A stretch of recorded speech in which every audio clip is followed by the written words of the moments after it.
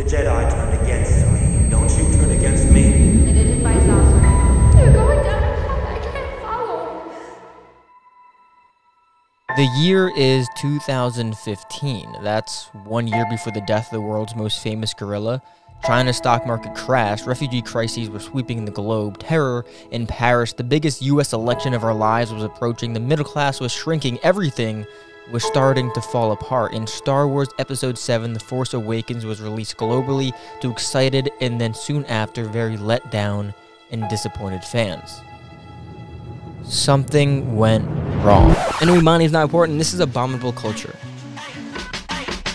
I love Star Wars. I still love Star Wars, despite all the hate I might give it from time to time, despite how much Disney deserves that hate, and despite the lack of good or even decent content, I still love Star Wars. But you don't need me to tell you that Star Wars isn't what it used to be. Star Wars was a masterpiece of plot. It was more than The Mandalorian, more than The Skywalkers, more than the overhyped and underdelivered stories that we are so used to seeing. Star Wars is an expansive and outrageously fun universe that my childhood self would use to create long form stories that I would act out in my bedroom and in my backyard. Star Wars has done what only so few other properties have been able to do. It has transcended itself, becoming more than it ever was without needing to do so on its own. Star Wars has become what it is today because of the fans that exist in numbers large enough to build it. Star Wars is the prodigal son of the pop culture world, somehow always letting down every fan yet outdoing itself in countless ways. But those times are ending. The corporate and cookie cutter big box sludge has taken a seemingly unrepairable toll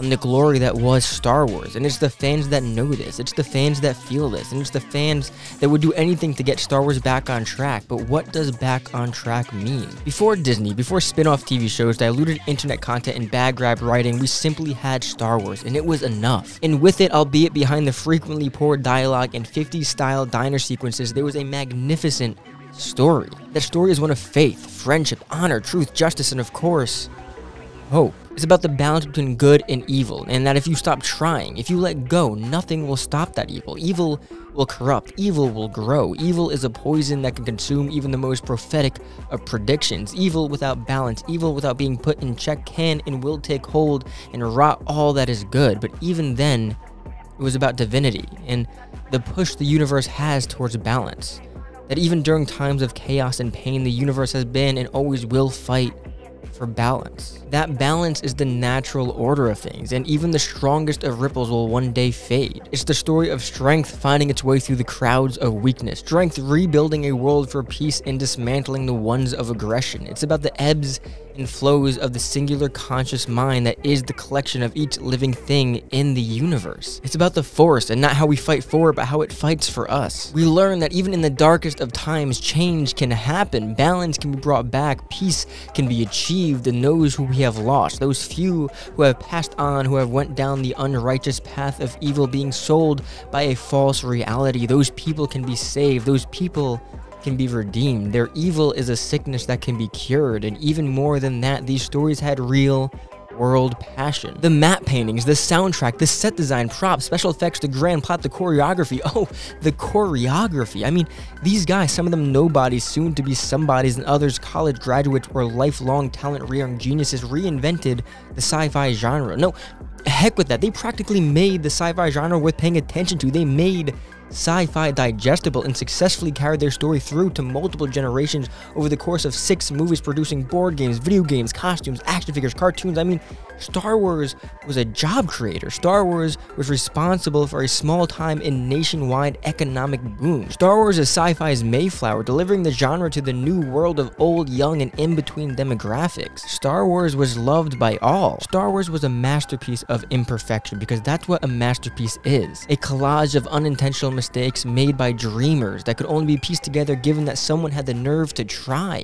And try they did, and we got Star Wars. There's only so many times in a generation, so many times in one existence when that can happen, when one man or a group can conjure up a world so exciting and rich that everyone wants to be a part of it. And in our last 100 years, we've seen only a few of those stories breathe their everlasting life into our culture. Stories that will outlive the Marvel wave, stories that will be reconsumed for countless generations to come, stories that have already proven their resistance against time, stories that are the most well known and invested in, and one of them is Star Wars. And as much as there's potential for other fictional worlds and characters to withstand the test of time, Star Wars has already proven to be an unmoving rock. But even then, its biggest test is now. I don't want to talk down the Star Wars. I don't want to pretend like this childhood defining world has wronged me so personally that I find myself on YouTube like so many others, demanding for changes that I personally think would suit the franchise best.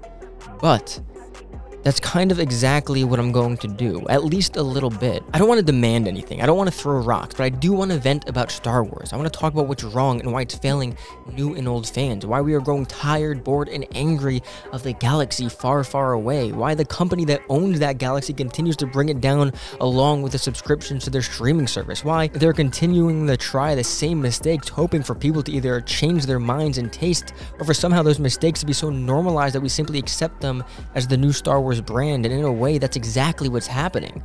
But Disney's desired outcome of box office and streaming success is not following their plan of making less than adequate content normal, because that's what the normal of Star Wars has become less than adequate. We've gone from bone-chilling soundtracks, goosebump-inducing lore, heart-pounding choreography, and visually and mechanically complex sets to a rehashed, reused, and recycled formula that lost all of its returns before The Force Awakens was ever released. Star Wars has become Disney's Walmart. Star Wars has become cheap. Star Wars is failing. Star Wars, aside from the creative juggernauts like Dave Filoni and Jon Favreau, has lost its passion. Star Wars has lost its dreamer, and it's noticeable. And we've seen it all. We've seen the comparisons to what we have with scenes from the Old Republic to The Force Unleashed versus what we have now. We've seen the potential of what countless stories can look like on the big screen. We've read the comics, played the games, and it's time we've seen Star Wars take its next step forward. And I know what everyone's thinking, and it's been talked about to death. Kathleen Kennedy killed Star Wars. And considering not one decision could be made without her saying yes or no,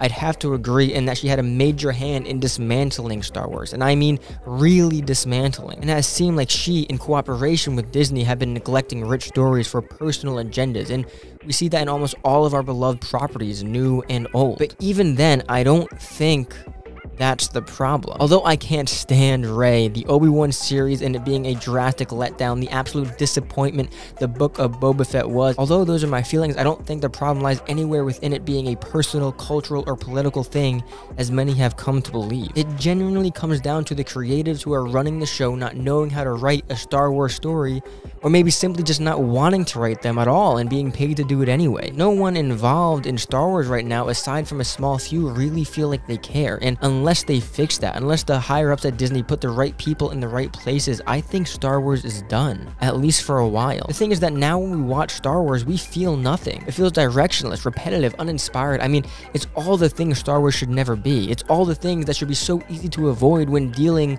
with the Star Wars world. It's boring. And although it may be a nitpick, what really shows us that Star Wars is on its way out is how unconvinced we feel when we watch it. The acting looks forced, the writing feels fake, the set design is weak, the chemistry between characters is borderline barren, and the choices for the stories are simply uninteresting. Watching new Star Wars has become just something to do rather than an exciting break from reality. This is bad. Star Wars is becoming forgettable, and the numbers are showing it. The thing is, people don't want to pay for things they don't need or like. People want the old Star Wars back. People want incredible fight scenes, majestic plots, relatable, honorable, and stoic characters that don't feel like forced substitutes for the writer's own personal fantasy, and in some cases, just an empty and unrelatable figure they use to push the story along.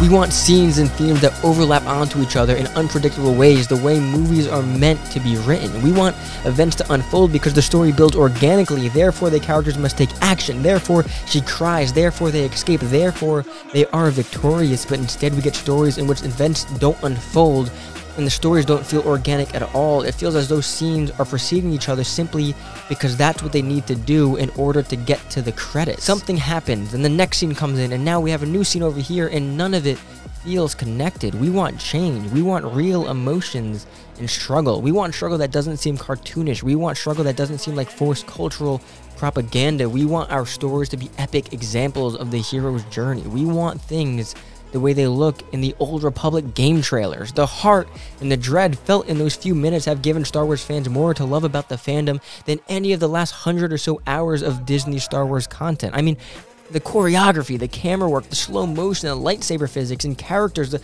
the sleekness, and again, what Disney Star Wars is missing most of the grand plot. We want the passion and the grit that comes from the Force Unleashed. We want the youth and the vigor that we saw in Ewan McGregor's duel against Maul. We want the wisdom and the sincerity shown through the Force, the way Qui Gon paved the way for the Jedi to truly become one with that force. We want passion back, but instead we continue to get a dime a dozen TV shows with poorly written and in many cases poorly casted stories. Everything about Disney Star Wars projects, aside from the animation, feels off. Like they keep hiring people that don't belong on these projects. And one bad decision after another has created what we have today, a stale and paper-chasing franchise that has become the panic button for Disney execs who are low on their quarterly earnings, but that strategy is starting not to work for them, and they know this. I love Star Wars. And if you clicked on this video and you got all the way to the end, then I know you love Star Wars too. You just don't love what it's become. I don't know if Disney will be able to pull off one of the biggest comebacks in cinema history. I don't know if the future projects like The Skeleton Crew, The Acolyte, Lando, or any of the feature-length movies in development will be good or even passable. All I know is that we need a change. And finally, the last thing that people have always said is that Star Wars is for kids and we shouldn't expect too much from it but I don't think that's a good excuse anymore. That's a lazy cop out. Even I, as a child, and I'm sure many of you knew how incredible and undeniably perfect The Dark Knight was. But The Dark Knight was not made for kids, it was made for Batman fans, which includes children, myself being one of them. And the same can be done with Star Wars. I'm not saying I want R-rated scenes and curse words in my Star Wars content because we don't need any of that for a more adult story. Thank you, Lord of the Rings. But children can handle higher concept stories and darker themes. We can create grand stories through Star Wars once more. We can have breathtaking stories and still sell merchandise like the mouse wants without making things juvenile. That is possible, but why? Why don't they just do it? And honestly, I think it's simple because they don't know how. And that's why I think Star Wars is over. At least for now.